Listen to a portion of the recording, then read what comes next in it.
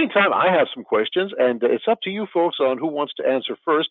Uh, we'll we'll get a response from both of you on this, and uh, any discussion that uh, uh, will amplify. But here's the first question: What are the major challenges that businesses should look out for in establishing a sound patent portfolio management policy? Who'd like to run with that first?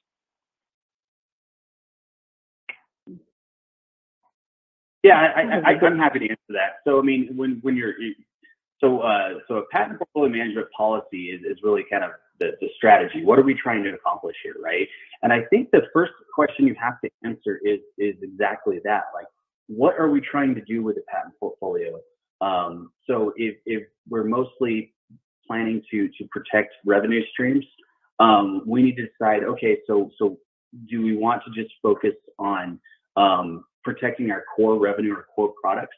Uh, or, or, do we want a more aggressive and more expensive approach where we sort of place some bets that may not pay out? And, and that's going to make sense for different companies. If I'm a startup, um, I might want to uh, really just get a handful of patents that protect a, a very specific um, core technology. Um, but obviously, I have other things I'd rather spend my money on because I'm a startup and I'm probably resource constrained. Um, versus maybe a, a, very mature company or, or very uh, even scientifically advanced company um, that has a lot of interesting things going on, some of which are not going to be commercially viable, some of which don't make sense. Um, likewise, maybe, maybe, a university is sort of in a unique place too.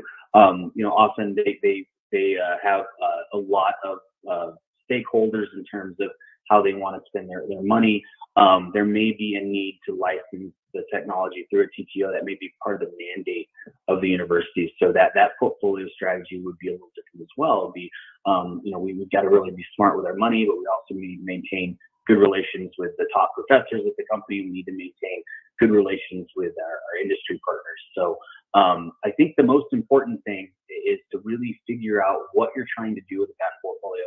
Um, you know, I think one of the worst things you can do is just start filing patents and just try to try to run up the number. Just you know, go for sort of uh, quantity over quality um, to provide the appearance of an aggressive patent prosecution program. I think that ends up with um, a lot of assets that don't make sense, and, and, you're kind of back at that patent pruning discussion I had earlier, um, wondering uh, why you're printing so many patents all the time.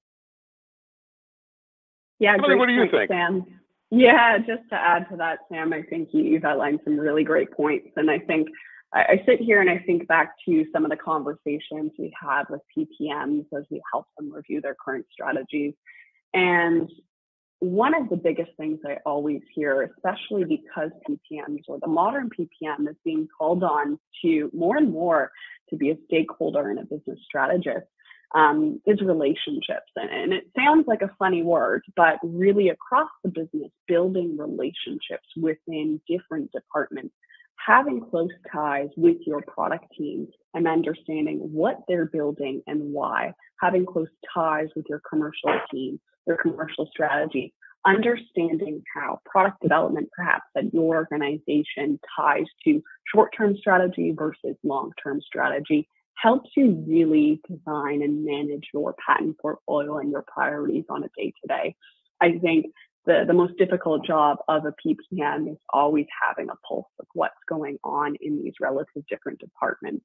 But it's these strong relationships between departments in your role as a PPM that I help that I think really give you that insight into perhaps some, some quick decisions, as you mentioned, Sam, at a startup that have to be made quickly. And having those relationships, especially in a larger organization when there's hundreds perhaps of product lines that exist, really help you understand what is essential for not only the short term, but long term commercial strategy of that business.